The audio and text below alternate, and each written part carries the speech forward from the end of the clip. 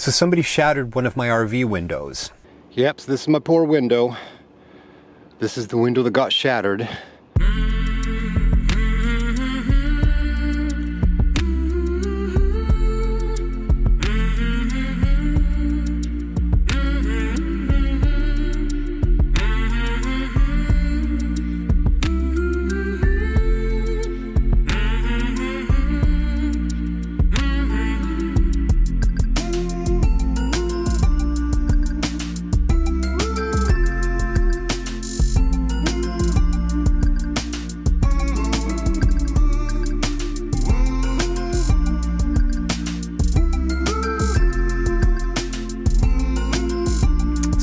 About that, my last five days traveling through the state of Washington as I left Astoria and I've arrived in Seattle.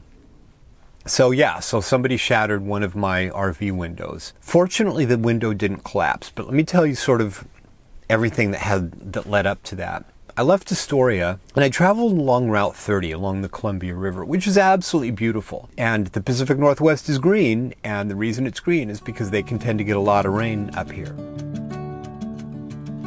On the day I wanted to leave Astoria, a storm decided to pass into the Pacific Northwest. One could call it the Pacific Northwet, but I decided to leave and just deal with the rain.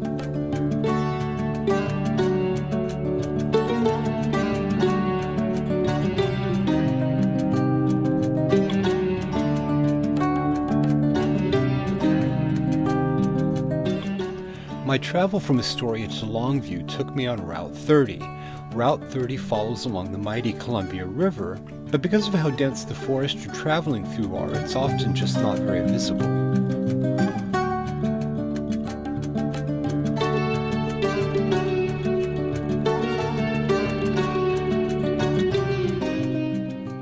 The Pacific Northwest is frequently this intensely green and verdant place, and the price to pay for this kind of beauty is a lot of rain.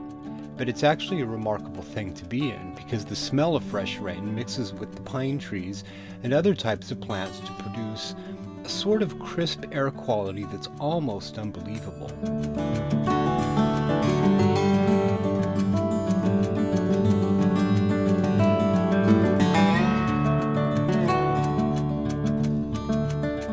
As you get close to Longview, the steep downgrade on Route 30 gives a wonderful view of the Columbia River, which divides Washington and Oregon. Longview is a town I used to visit often as a kid since my grandparents lived there.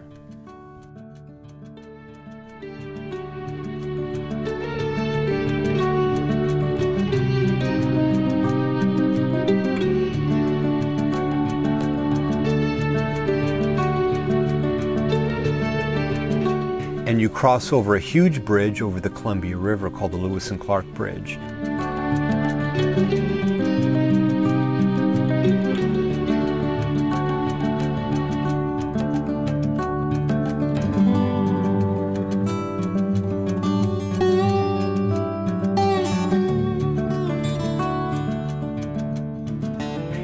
That's a bridge that's been there for a great many years. And when I was a kid, back in the 70s and 80s, I used to visit my grandparents who lived in Longview, Washington. So it's always fun for me to go back into that town.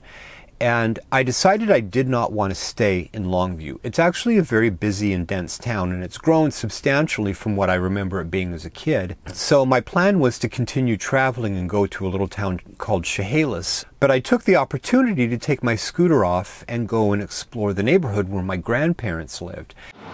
So when I was a kid, my grandparents lived in this neighborhood that I'm in right now in Longview, Washington. There was this awesome park that we used to go to had this incredible little long lake slash pond in it.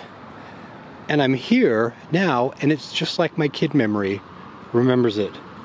Way back in the 70s we used to come here. And then i got back on the road and started heading up along the i-5 corridor. Drove for quite a while and it's fun because you, you in the Pacific Northwest they happen to have a preponderance of a type of steel grated bridge. As a kid, I loved driving through, and there are a fair number of them up here. I eventually got into Chehalis, which is where I was going to spend the next night. So I just pulled off and I had pre scoped out a place on Google Maps and I stayed there for the night. And once I had gotten there, it's a small town, and so I was close to the little downtown area. So I just walked into the downtown area and I did some exploring with my with my cameras. And I really like doing that. I really like getting to a place that I haven't been to before and then going and just doing a little bit of exploration there. It's fun to me. It's fun to go into that area. And it turns out Chehalis has a history going back to the mid 1800s. And their little downtown Main Street area was picturesque and lots of fun old buildings and and uh, like old typical American Main Street. And so I just spent some time down there doing some photography and exploring. Next morning, I took off, headed north, and I was going to go to Olympia, but I decided to take a little side detour and go to a town called Satsop. And Satsop is not in the direct route to Olympia. You have to go out of your way, but it turns out there's something really interesting there.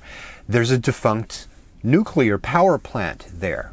And you could you could think that that's a little bit scary, but it turns out that it's a nuclear power plant that never actually became functional. So there's no chance of radiation or there. It got about 75% complete, and then uh, back in the early 1980s, literally the plug was pulled from it, and its construction and, and development was stopped. But there are two massive cooling towers there, along with some of the other facilities that were going to be part of it, and they're remarkable to go and see after that, I continued on into Olympia. I decided not to stay in Olympia, even though I, I would love to explore downtown Olympia. It's the capital of Washington, and there's a lot of old, neat stuff there to explore. But I really needed to get to Seattle. So I ended up staying the night in Tacoma, which is another half an hour past Olympia, because I've got family in Tacoma that I wanted to see kind of on my way. But once I got in, I decided to go explore the downtown area first. So I took my scooter off and I rode through the downtown area because my family, they're kind of a ways away and it wouldn't have made sense for me to go there and then do a bunch of backtracking. Since I was near to the downtown, I took my scooter off and I just did some quick exploration there, and it's a beautiful downtown.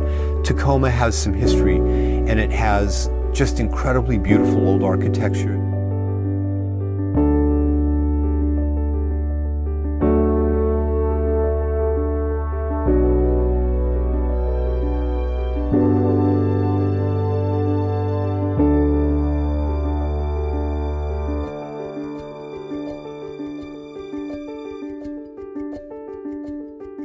Got new, modern, vibrant buildings down there, and it's got a series of museums.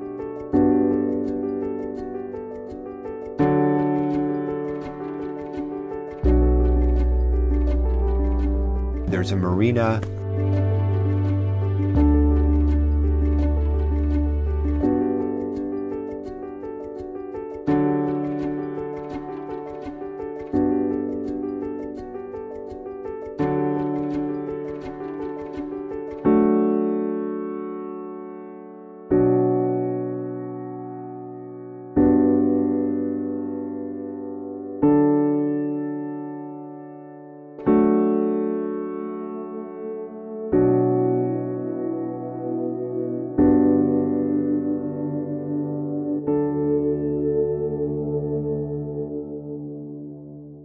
But on my way to my family's, it turns out that there was another Planet Fitness. And so I had decided to stop and uh, go do a quick workout and take a shower before I headed off. I had gotten there and I'd parked along side street.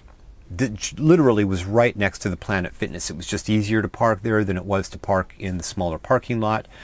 And got my workout done, came back to the RV, and I was just in the RV doing some stuff, kind of getting prepared and I was sitting down and I hear a car start to drive up. Now there was an apartment building there, a relatively new apartment building. It wasn't that wasn't shady at all. But I could kind of get the sense that there was just something generally shady about this whole area of Tacoma, and so I was a little bit nervous. Car, I hear a car starting to come up. It slows down, and all of a sudden I hear this crash behind my head. I didn't see it, but it seemed clear to me that what had happened was they had thrown a projectile at my window and then they suddenly tear off, right? Like it was clear that they had done this. And I hear the window behind my head shatter. And fortunately, it's tempered glass, so it's designed to break into a thousand pieces as opposed to big dangerous shards.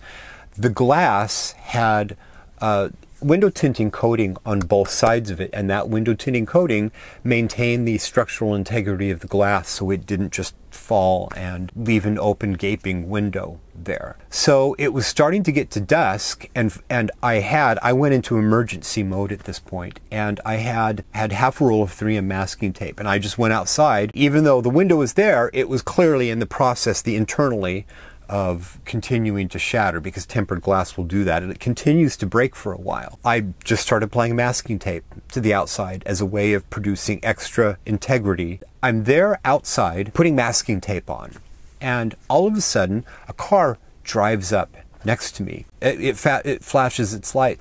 Guy puts his head out the window and it's really shady and he goes, "Hey, hey." And I'm ignoring it. Like I'm in crisis mode, putting masking tape up on my damaged window.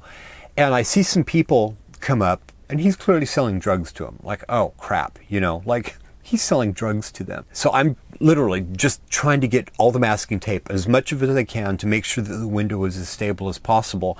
And then they start to drive up and they drive right up next to me. And I'm trying to ignore them. And I'm clearly, again, doing this emergency repair work to the RV.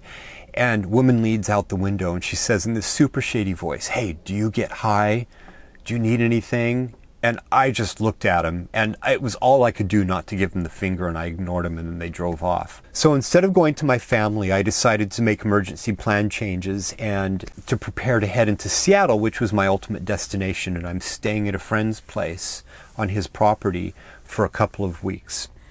So I, for that night, I went back to my original spot as opposed to driving on to my family's place, which would have taken me way far out of the way. I did not want to put the extra stress on that window driving out there. So I let him know what had happened and I camped the night back at the original spot in Tacoma, which was right next to a Home Depot. So I was able to get some more masking tape and another type of clear tape that's designed for emergency repair. I did that in the morning and then I headed on into Seattle and the window maintained its integrity. When you pull my IKEA shade down though, it kind of hides it, which is kind of hilarious if you think about it. I've already called a glass repair shop who said that they could cut new tempered glass. I have to take it all the way, the RV, all the way back to Tacoma. So thanks for watching.